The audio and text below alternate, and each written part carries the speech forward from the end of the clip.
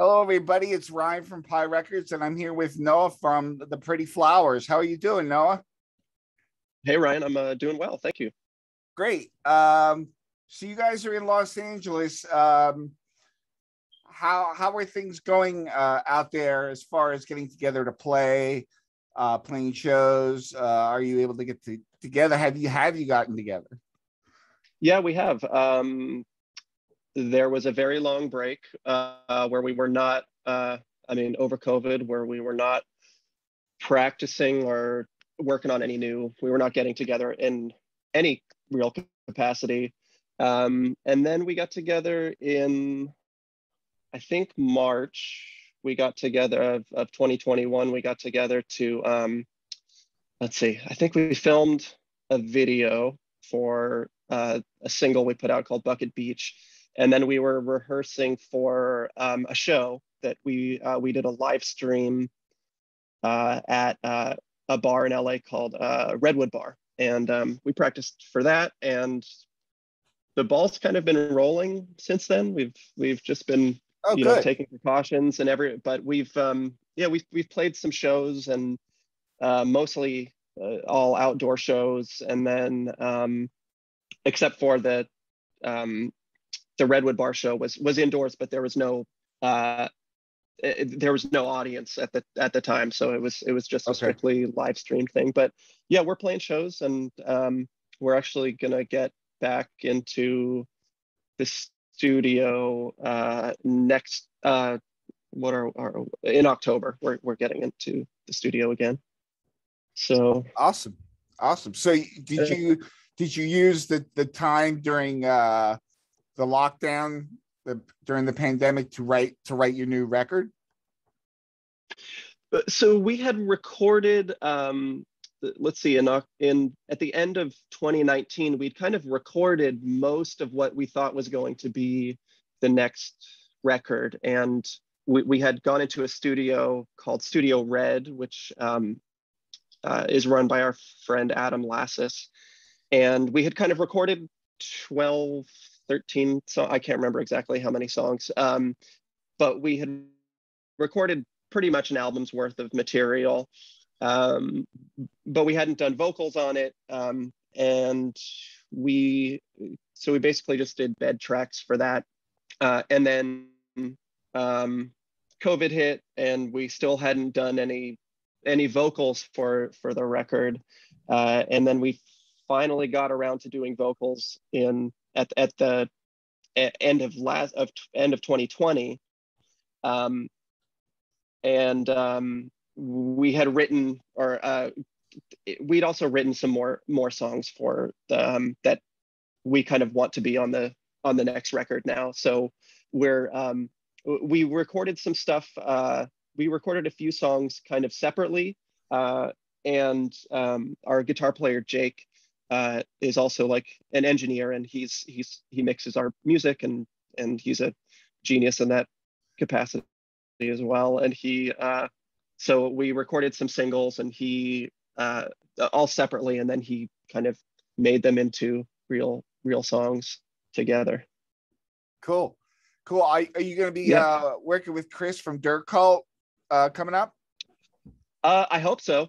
Uh, we we kind of um, I, I I I hope uh, I hope we can, but we don't have a whole we don't have like a full album to just be like, here, can you put this out, or do you want to put this out yet? We're just kind of yeah. um, he's heard some stuff, and I think he's into it, but um, I, I, I hope he'll put it out.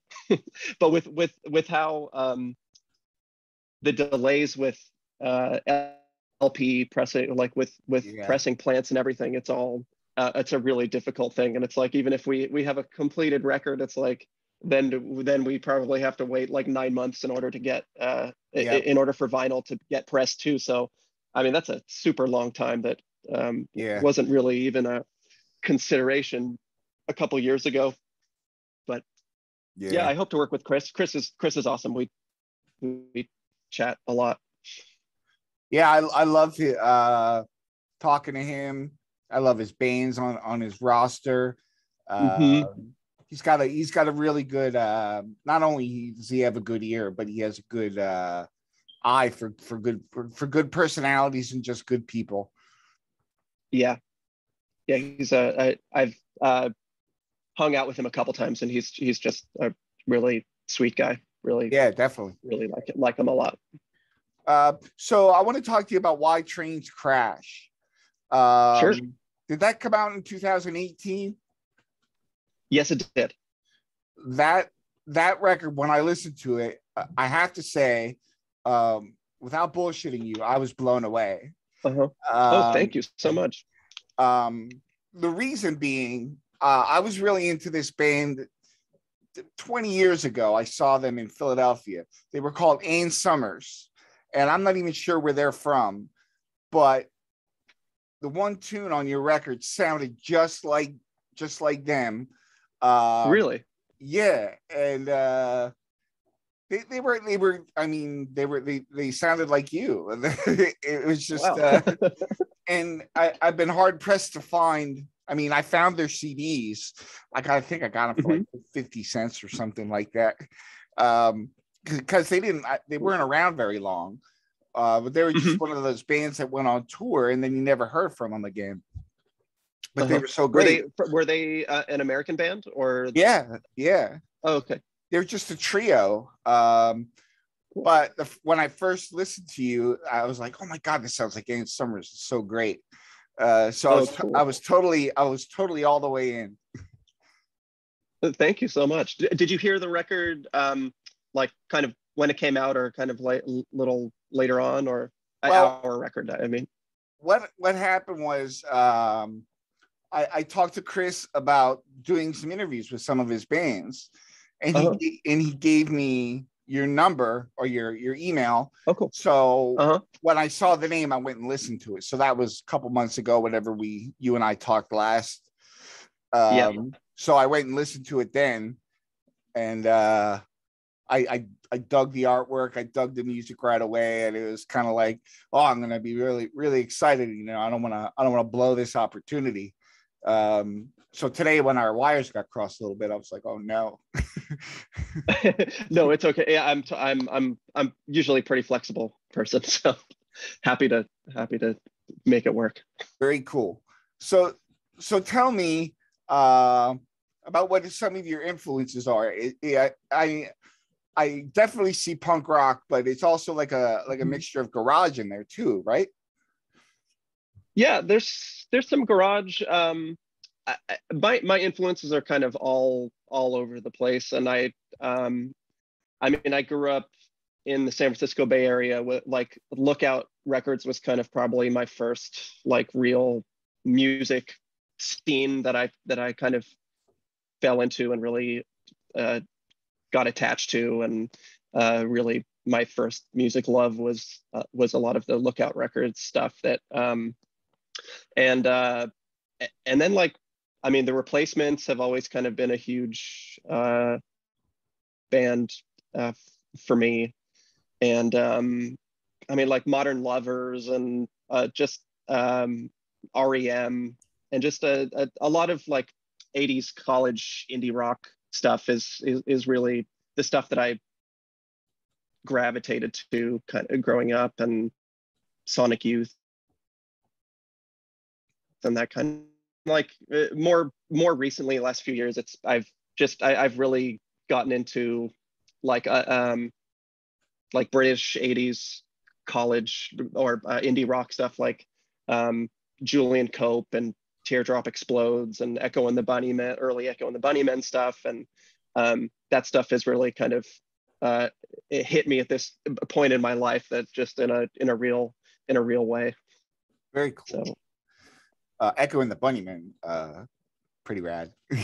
yeah they're they're just amazing uh, so how did you guys get together, and how long have you guys been together as as a as a band? And what what was like the the kind of the catalyst for getting all you you guys together and and saying, oh yeah, this is a really good idea. Um it started off uh th- there's been some lineup changes uh over over the years but, but since 2018 since like the record um since why trains crash uh, uh since we did like the release show and put that record out that that's been the the steady lineup and it kind of feels like that's that's the lineup that it's always going to be. I hope it, it, feels it feels that way. Um, but we uh, I started the band in let's see, I think we put out our first seven inch in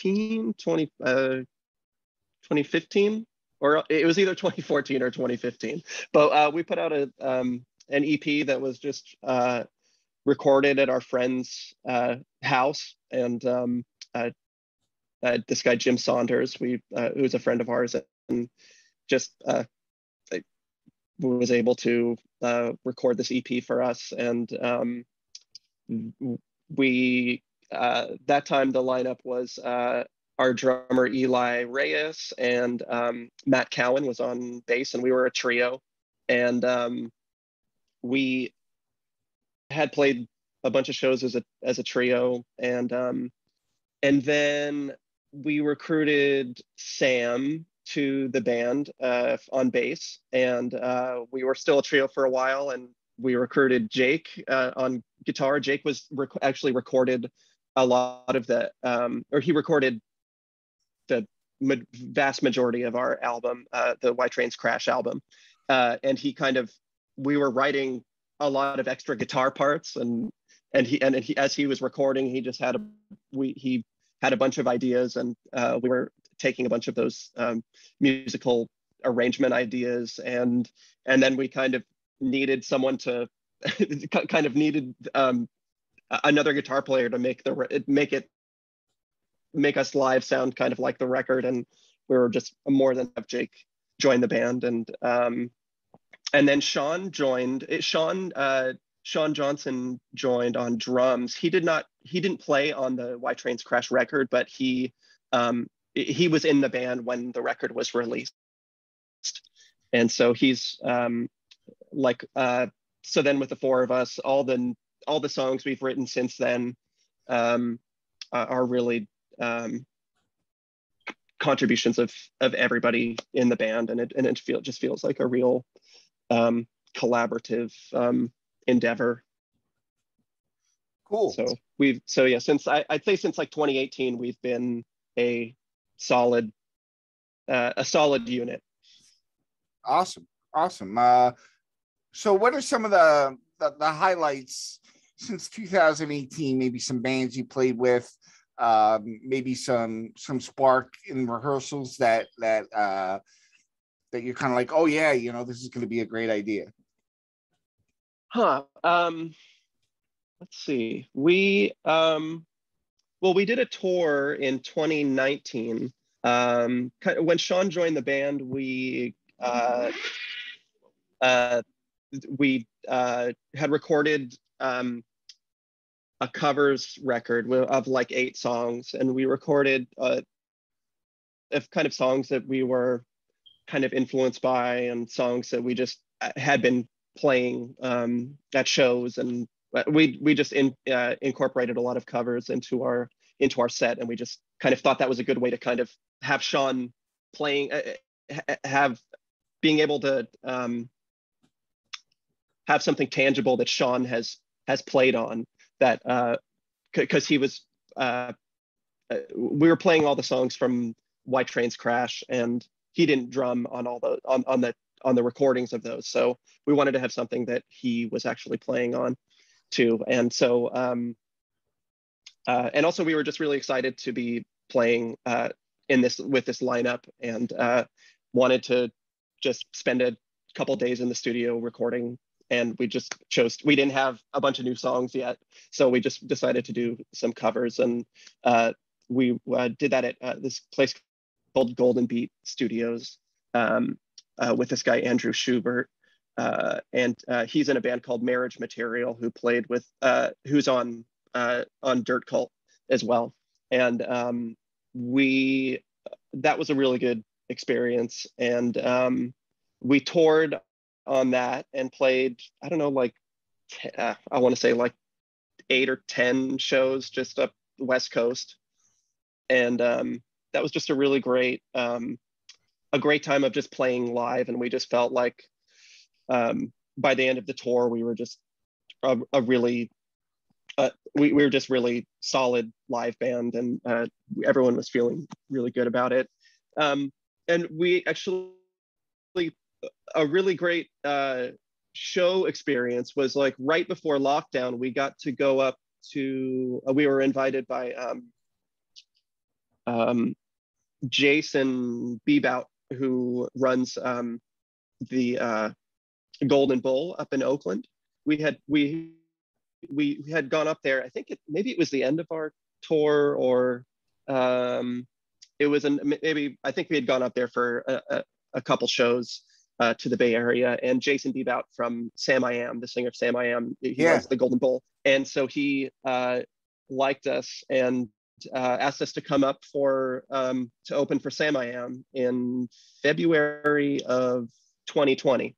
And so that was one of that was the second to last show that we played before lockdown happened, and that was a that was a really huge that was a really fun show. It was like sold out show. We got to play with Samiam and a and a, yeah. a couple other really great bands. And Sam I growing up in the Bay Area, Samiam was just a huge in was just a huge band for me, and I just loved. I mean, them and Knapsack and a lot of those Bay Area bands and Jawbreaker, and you know, there's just they yeah. they were just huge for me. So that was just a very uh, it was just a really cool experience to be able to do that. So I, I think um, that show in particular uh, kind of we had we had already written a bunch of songs. Um, I, I think that in one way or another just kind of uh, helped with some of the writing and thinking about um, uh, what we want the next record to kind of be like. Very cool. Uh, yeah, I'm I'm totally down with Samiam like Soar was like one of those records when I used to play in a band that we always kind of turned to, maybe uh, borrowed some uh-huh. things from.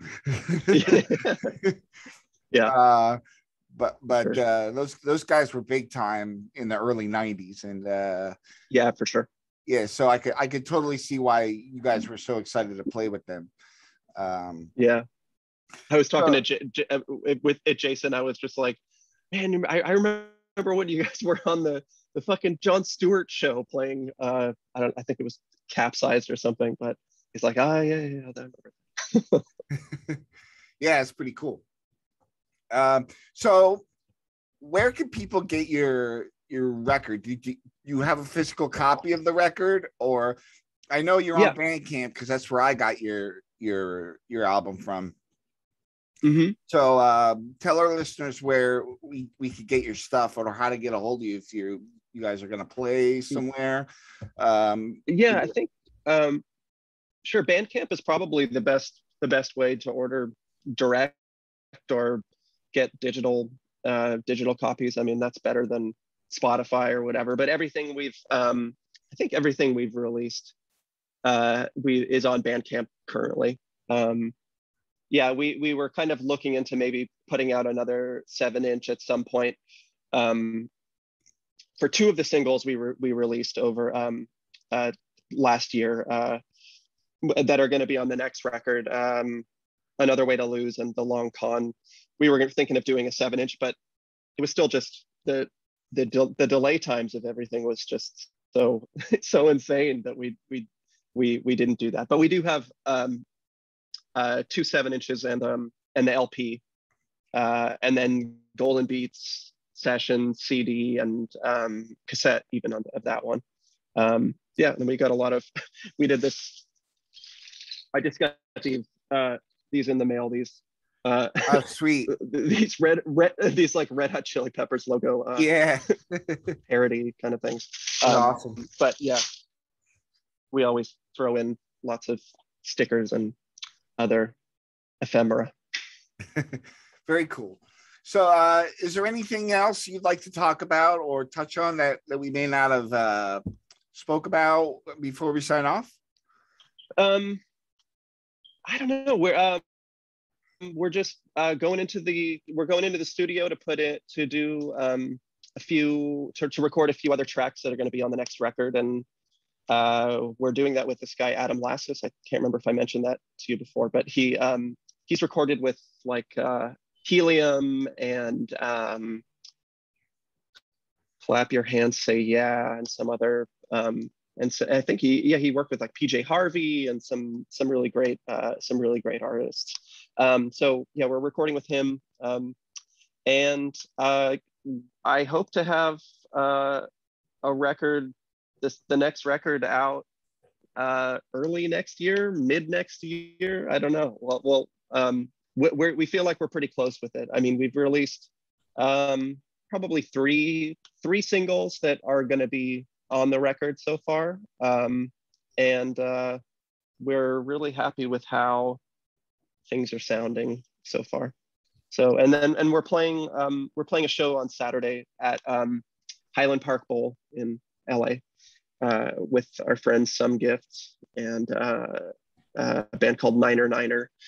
And um, yeah, we're doing that. And then I think we're playing in October at um, this uh, in San Pedro at a uh, this brewery called Brouwerij West, who's been really supportive of us over the last few years. And um, yeah, that's uh, we're just kind of plugging along and trying to be a, uh, a very active band without having to without tour. I, I don't know. We're we're not super interested in touring at the moment, but we are. Uh, I'm sure we will eventually, and um, we're looking. We will looking forward to doing that at some point. Awesome. Uh, everybody, check out their album, Why Trains Crash. It's awesome. I want to thank you, Noah, uh, for for accommodating the schedule and uh, for talking to us today. Yeah, Ryan. Thanks for having me. Really appreciate it. Very cool. So thank you so much and have a great day. Yep. You too. Take care.